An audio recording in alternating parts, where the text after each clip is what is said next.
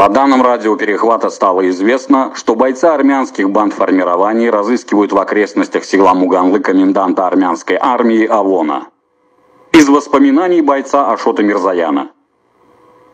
Малтемин Конян был народной легендой. Мы никогда не забудем всего, что он сделал для армянского народа. Однако он погиб. И прекратите спекулировать на его смерти. Его не убили пришельцы из космоса. Его убили наши враги. Я живой свидетель его смерти. 12 июня 93 года нас подняли по тревоге.